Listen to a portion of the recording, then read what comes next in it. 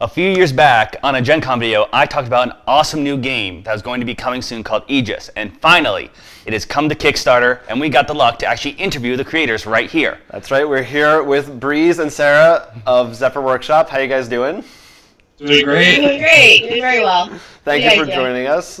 And why don't we get started? You want to just give us uh, an overview of what the game is like, how it works, what makes it awesome, that kind of thing?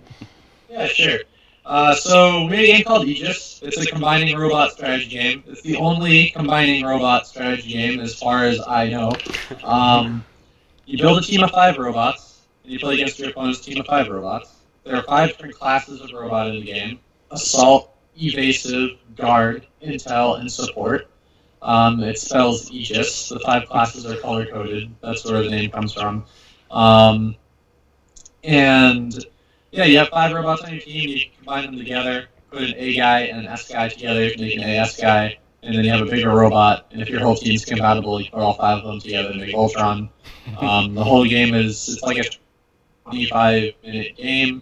It's made to be played like best two out of three. It's basically like a tactical war game for far less time investment and far less cash investment with the same depth of strategy. It's like Pokemon meets Voltron. That's a pretty That's good, good, yeah. Yeah. slogan. Poketron. Yes. Pokestron. That's, uh, that's, the, that's, the, that's the rebranding. that we're gonna do. it's, it's official. Um, how, how did you guys like get actually get started designing games? Is this is this your first game or uh, fir- first published versus any any other? It's, yeah. It's the first of a lot of things. Okay. Um, so yeah, we, we originally started the game as a senior capstone project in college a few years ago, and it was uh, myself, and another awesome dude named Tom, and we put this sort of prototype together. Uh, we brought it to PAX East, made out of paper. The initial game design was me. It kind of came about in like two days. Uh, like while I was brushing my teeth, I came up with the title of the game. But yeah, the whole like the core systems of the game came out really quickly, and then we started just immediately paper prototyping it and bringing it places, and then we actually uh, we self-published it about a year in in like 2014. We made a whole bunch of handmade boxes. Well, I didn't I didn't do anything. Sarah made a whole bunch of handmade boxes, which we sold at PAX East and other conventions. Um, so that was pretty cool. But yeah, in, in terms of the initial design of the game, I grew up watching like Transformers, Power Rangers, uh, Starvengers, which was like a thing I used to rent from Blockbuster back in the day. Mm. That was just like uh, I guess that was like an Americanized Getter Robo. So I watched a lot of that stuff and and Voltron, and then uh, I guess about ten to twenty years later, I ended up making a game about it. so uh, I really the whole point is yeah, I wanted to capture the awesome, the awesome like fighting, combining colorful Saturday morning cartoon robot thing, and put it into like a tactical turn-based game. And that was kind of the goal, and I think that we succeeded. The game's really good, and it does give you the feeling of you know shooting rocket punches and combining robots together. Which is good. And I we know. had mm-hmm. people from all ages who love it. We had kids who were like eight who sit down, figure out the game, I swear, in five minutes, and absolutely love it and just want to combine guys right away. And then we get guys who are like 50 and old, like war game X, and they love it because it's fast to play and much more affordable than um, Warmachine or anything. it's super cool to see that. For sure. Yeah, definitely. Will is our resident uh, robot. I feel like that's superfan. not a high bar. That, yeah. there's only like four of us. Yes. but, uh, but I don't know if there's any on our set right now. Well, actually, there's Transformers there. There's all Power Rangers there. I'm sure there's more if we actually actually looked. yeah, so you're, we're your target demographic Yep. for, for sure. um, and I know you guys are now you're working with Greenbrier, right, for this Kickstarter. So how did that uh, cooperation come about? Uh, so the first time we ever really brought the game to a convention to sell, it was uh, TempleCon in 2014, in like that January, and we showed up with 10 handmade copies. And and in that weekend, uh, the president of Greenbrier, I guess, was just one of the guys who sat down to demo the game, and then it was just like some really nondescript dude, and then he's like, "I need to tell. I'm gonna, I'm gonna take you out to dinner, and we're gonna talk about publishing your game." I'm like, "What?" and so that's kind of how that happened. And then we were uh, through 2014, we were just like in back and forth negotiation, trying to figure out the best way to tackle this. It was all very very new to us. Um, but yeah, it was Greenbrier definitely really likes their like pop culture games. They got like uh, zombies and ninjas and robots, and I'm sure and like they go in like fantasy and gothic. So we're, we're covering we're covering one of those bases here. We're you know, we're doing the uh, the cartoon robot uh, thing. It's a Uh, good yeah, base so to it- cover. other than that, then yeah, it's been pretty good. But ultimately, we only got published because we decided to just put our game out there and uh, yeah, just kind of throw it up in, uh, at a convention. Yeah, you got to take that first leap, I guess, and it, and it paid Yeah. off. Definitely pitch your game to everybody. You never know who you'll come across, and you meet a lot of cool people too. Just pitching your game and talking to people about games, which is a really really cool feeling. Yeah, Mhm. that's a that's a good segue to uh, what like you know your experiences as indie developers when doing Kickstarter, and if anything you would suggest for other people just getting started out, uh, creating their own games, that kind of thing. Uh, yeah, make something and then just bring it places. It doesn't really matter if it's done or good. I would just bring it places. You will find some people who will think it's cool, and then more opportunities will appear from there. You can't like work on something for three years and never show it to anybody, and then uh, maybe things will work out. But actually, well, just speaking from our own experiences, getting it out in front of people's faces as early as possible was the best thing that we could have done. And I think that's the biggest and most important thing. Yeah, you get immediate feedback. When we went to PAX 2013, the game was literally on slips of paper with all the core, most of the core gameplay mechanics there. And people got to sit down right away and get a feel for the game and see what worked, what didn't work. Like, there used to be ammo on the robots if you'd like to go into ammo at all, but Yeah. it ended up not working well. So um, to keep things simpler and more streamlined, we ended up getting rid of ammo. But like that's something we would have never known if we didn't just sit down and play with people. Mm. So it's very important to sit down and get the feedback immediately because the going to be growing and changing as you work on it. And the more people who look at it and give you feedback for what works, what doesn't work, it definitely helps because you get so close to the project. It's hard to see kind of things that might not be the best idea, Mhm. um, and it helps to have other people come along and help separate you from that. So you can just make the game better in the end. Yeah, definitely a lot of the ideas that you think are really, really awesome inside your head and that definitely are totally going to work and people are going to love them. Um, they definitely, you'll, you'll find out really quickly if that's true or not, but only if you put it in front of real people. Um, like uh, when you just first started, it was actually started as a paper prototype for a digital game, so it had, Hmm. it was based off like Advance Wars. So uh, we had like an ammo system in the game where every attack in the game had like ammo that you had to keep track of. And I thought it'd be fine because you know it's just like single digit numbers still. But it was just uh, that was this was really a really long time. We had we did we did demo like after the first time we ever showed it to somebody. but it was just an example of yeah, this is a perfectly intuitive mechanic, but not on tabletop and not for the kind of game that we wanted to make. We wanted to make something that was intuitive with uh, a lot less tracking to it. So that was just sort of an example of um, something that we ditched really early and only because we showed it to people. Right, right. hmm That that sounds good. Well, and you, there's how many of you are there on the whole team? Uh, right now, there's uh, about five of us. Uh, we we shrink and grow, but yeah, the core team is yeah five right now. Uh, it's me. I'm the director. I do a lot of everything. I design the game and I do the art direction, and uh, I did all all the initial illustrations and like oversaw graphic design. And then Sarah is the team coordinator. She organizes us and then we have two guys who are really good at game balancing and that stuff, which is important to have. And then we have a guy who comes and kind of leads our convention team whenever we bring the game to conventions, which we do a lot. Yeah, all the time. Like our sales and convention guy. That's kind of round. That kind of rounds out our team. And like we've had people come and go. Uh, really cool dudes who, a lot of competitive gaming guys um, another dude named Braun, who's like a caster for League of Legends, and he's like some diamond player. He's he's, he's a magical unicorn. But yeah, he uh, he helped us out a lot. um, to get the game balanced because our game has a lot of moving parts and getting people who are very familiar with uh, like team building and high level strategy and stuff was very necessary to get the game as balanced as we wanted it to be.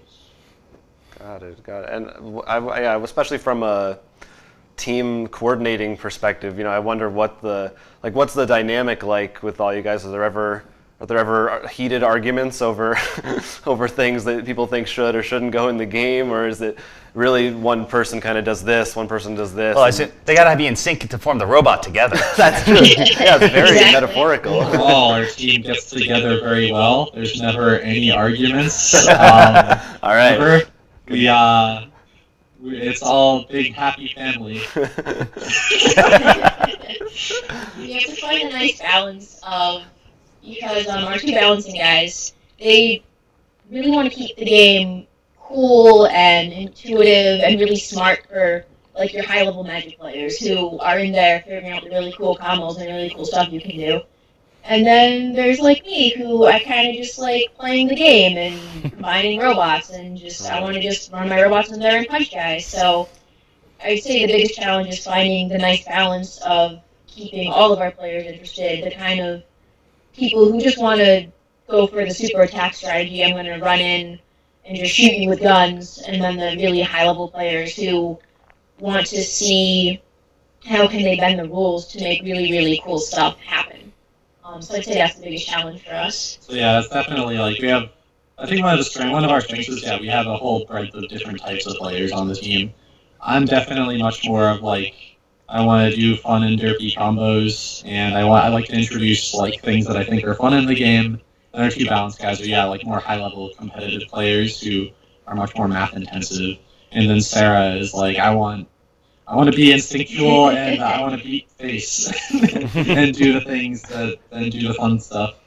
So yeah, we definitely we we're definitely trying to appease everyone, and ours is the kind of game that we did. I think we did a really good job at that. Like people who are really competitive will definitely find a lot to enjoy in our game, and then people who are just in it for the robots and the combining, that is the main. That's that's my thing that I wanted to really deliver. You will feel awesome when you play the game, and then um and then the game is also simple and intuitive enough or if you just want to play like five assault robots or make the really huge guy and shoot the stuff um, that's also something you can do viably in the game I know there's there's two uh, sets of the game, correct? That are, currently- are, and each one is a standalone thing, and or you can mix and match that kind of thing. Uh, plans for future expansions along that same line, or any new games beyond that? so the game is yeah the game is basically made to be expandable um, each box is going to be standalone so you can play it with two to four players uh, that's what our current two boxes are red box and blue box 40 unique robots in each one. There's no doubles or duplicates between them. The game works completely the same, but the pre-built strategies that you get out of both of them are different. Um, and then, yeah, like the overall plan is to, if the Kickstarter does well, then obviously we have a lot more content that's actually already made. Um, then we can uh, immediately get out there, and it's just a matter of production costs. So definitely looking for the Kickstarter to do really good. Um, yeah, like the overall plan would be, uh, yeah, expand the game. We've done a lot of future planning and making sure we're not power creeping and running over ourselves for the future. We didn't use up all of our good ideas in the first set. We just kind of put out the ideas that we felt needed to be in the first sets. Hmm. Um, and uh, yeah, that's very there's, uh, there's definitely there, there's by by its nature, the game has a lot of room to make a lot of new content, new robots, new game modes, and we can keep the game exciting for a good long time. Um, should people want it? and uh, I think they would. Yeah, we we've had a lot of really really excited people all across the country play the game. Yeah, I definitely think we would. We both want to play it, so We're rooting count for us you. in. You're a backer. I am. I backed it as soon as I, I found out it, it went online. Yeah. So Yeah, we're actually doing pretty good right now. We're doing we're doing pretty steady. Uh, we just actually hit uh, 40%. We're only like five or six days in, so we're doing we're doing pretty good. Um, now it's just a matter of yeah, getting the push and getting the word out to even more people. Absolutely. uh, Definitely. Yeah. Hopefully, we can help with that. Mhm. Um, I'm, cu- I'm just curious, what are some board games, some of your guys' favorite games, other than the ones that you've made, maybe that you're playing now, uh, or even ones that influenced uh, Aegis or did not, uh, that you guys like? Sure. Um, so I'm a big survival horror fan, so I really, really like uh, Betrayal on. I can't remember. Betrayal of the House. Thank you. It's Yeah, Yes. I don't know if I'm deep or the- yeah, I see it back there exactly. Um, so I really like that. I like that there's the. I like playing games with people. I'm not really a competitive person. Um, I am like one on one, but when it gets kind of to bigger team matches, I don't like it so much. So I like in Betrayal that it starts off as cooperative and then it moves to competitive. Um, and then it's also great because each game isn't the same. So I think that's really, really cool. And I think you get what I like most about it is you get a lot for buying the game. Everything, every experience is different. Nothing happens the same way. And I think that's really cool because we made Aegis be the same thing with all the robots we have. Um, you build a team however you want. You play someone else's team that's completely different, and then you can fight again. You can change up your team a little bit, or because you're moving your robots around on the hex board, positioning's not going to be the same. So you never get the same game as Aegis uh, as well, which I think really to um, it being replayable, which I think is super important because people want to be able to play games a ton and really get their money's worth. Um, I before we started designing the before we started designing Aegis a few years ago, um, I actually didn't play a lot of tabletop games, which is interesting. Uh, I've since played a lot more as uh, we've been developing the game. But originally, yeah, I was a big fan of simple tactics games. I played a lot of Fire Emblem, a lot of Advance Wars, Final Fantasy Tactics, and I kind of wanted a game like that, with that kind of simple level of pick it up, put it down strategy, but on tabletop, and I could only find BattleTech. so uh, we I really wanted to make a game that uh, sort of casual digital gamers would like, kind of like how a lot of video gamers play Magic the Gathering.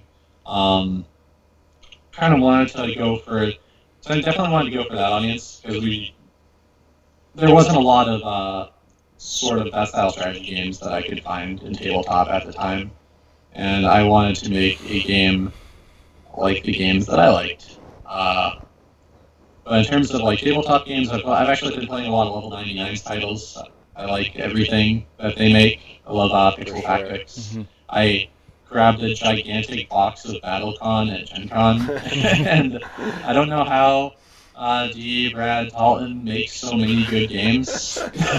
like, I don't know how he can make games so huge and so often and have them be so good. It's a little daunting. I, daunting. want to be like him. Yeah. Um, but yeah, so definitely we want we wanted a. I, I wanted a light to get into, easy to get into, affordable to get into tactics game, and um, that that was, that was our main goal with uh, Aegis. And we wanted to try to fill a niche that wasn't really being filled. I know I love Yeah. those Advance Wars and Fire Emblem. I just started playing Fire Emblem, so. But yeah. Yeah. the- the- Oh yeah, Final Fantasy Tactics, all those. Yeah, that's that's good to have those those influences in Mm-hmm. there. Um, any other important burning questions you- you had for them? Well, not burning, but I think there's a fun one we had we came up with. It's- We it's were wondering burning. because uh, recently they released the trailer for the new Power Rangers movie. We want to know your guys' opinion on it, since after all, you have a, combining robots, Yeah, so you go have hand a in hand. interest in that. it's a good time to be alive. I like that. I like that Voltron finally has a good show. Oh the yeah, whole oh yeah. current Voltron show is probably the best Voltron show that's ever actually happened. Mm. Um, and we have, we're like living in Power Rangers, and as Zoids is getting rebooted, and Pacific Rim 2 is happening. That's right. But yeah, the new Power Rangers trailer. You guys, you you guys ever see Chronicle? I have. I have Yeah, not. Oh yeah, yeah, yeah. It looks. It does look a lot it, like. feel, it feels like it feels like uh, yeah, Chronicle Breakfast Club was definitely, I definitely wasn't expecting the uh, like the Regina Spektor moody music or whoever plays that trailer song. Um, I'm gonna go see it regardless. I'll probably see it twice. I'm hoping that it's. I'm hoping that it's entertaining. Uh, it can be terrible entertaining, or I don't think it's going to be really, really good. If, it's, if it's like Ghost Rider 2 or something like that, like if it's really, really unintentionally good, then I think they've met their goal. I know the director, I know like the screenplay guy or the director or somebody said they're trying to make the game, make the movie more, make it more serious. And I'm like, what are you doing? this is of all the franchises to not make campy. This is uh. This summer, I the don't- dark I don't truth think of anybody Rugrats. Really, I don't think anybody really asked for a deathly serious Power Rangers movie. We'll see how it goes. Would you guys, w- i- i- you know, hypothetical universe, if you were approached to make a game based on the success of Aegis with a licensed property like Power Rangers or Zoids or something, is that something you would be interested in doing? Would you, would you like feel Yeah. like, yeah?